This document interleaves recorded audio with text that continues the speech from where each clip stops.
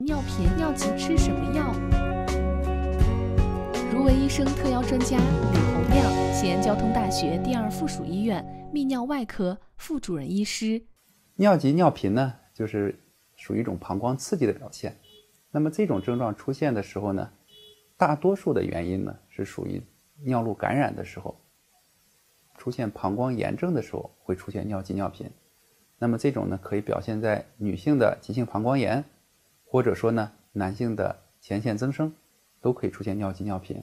那么它的主要原因呢还是这个膀胱逼尿肌不稳定所导致的。那么它也可能呢是由于这种感染刺激膀胱逼尿肌。导致逼尿肌不自主的收缩，或者说呢，由于长期的尿潴留，膀胱逼尿肌代偿性的肥大，出现逼尿肌不稳定，也可以出现这种尿急尿频。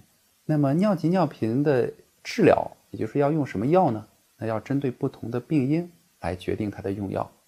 如果说它就是一个很明确的细菌感染，那我们通过服用这个敏感的抗菌药物，那就可以很快的、很好的控制这个尿急尿频。那么，如果它有排尿梗阻呢？那我们要解除这个梗阻的病因。如果它是其他的一些因素呢？那我们要针对病因进行治疗。那所以说呢，尿急尿频的病因不同，那它的用药也是不同的。